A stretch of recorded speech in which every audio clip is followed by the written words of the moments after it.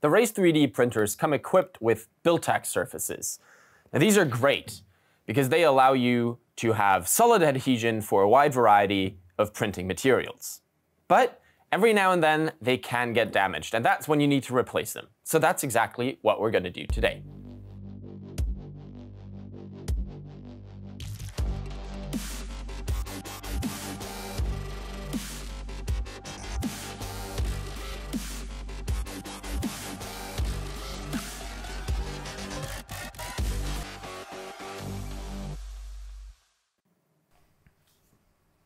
First, we have to unpack the new BuildTak surface.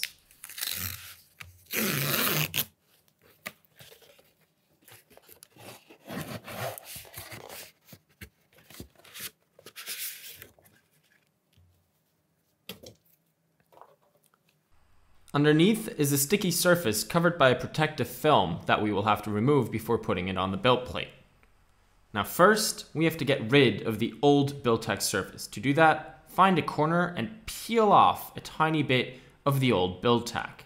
Then, once you have a firm grip on that, just keep pulling it off the build plate.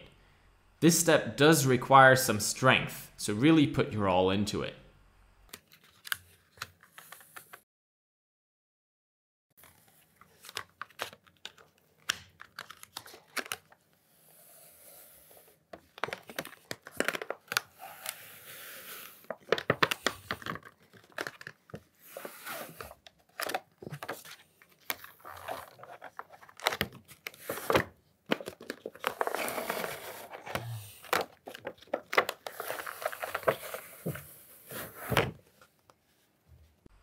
The old BuildTak just goes into the trash bin.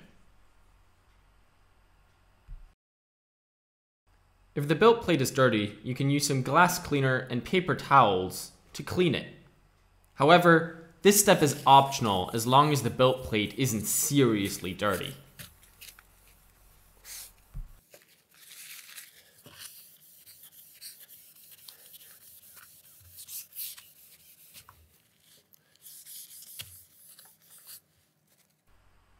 Now comes the actual application. First, we peel back a small corner of the protective film underneath the new BuildTak surface. After we've done that, we align that corner with our build plate. And this is the important bit because we don't glue all of the surface on at once. Instead, we align this one corner and now we make sure that uh, the way we put it onto the build plate aligns not just with that one corner, but with the entire build plate edge.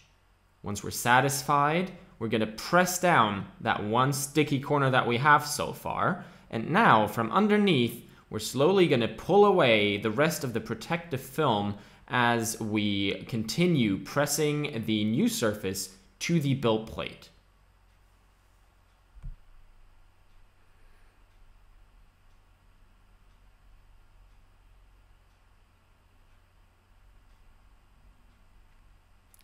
Thanks to the stiffness of the surface, there should be no trapped air bubbles underneath. Instead, everything now looks smooth and good, and we're ready to keep printing once more. All right, so we have now replaced the BuildTak surface for the Pro 3 and can keep printing with it. Uh, I would say the procedure was very simple. Thanks to the stiffness of the surface, there should not be any air bubbles left underneath, and everything looks great. As I said, the cleaning step is optional. You do not need to do this. But if you somehow got the steel plate very dirty or you're worried that the BuildTak surface doesn't stick properly, then you can do this as well.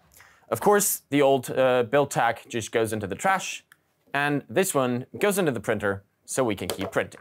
That's all I have for you today. Thank you very much for watching, and I hope to see you again next time. Have a great day. Bye-bye.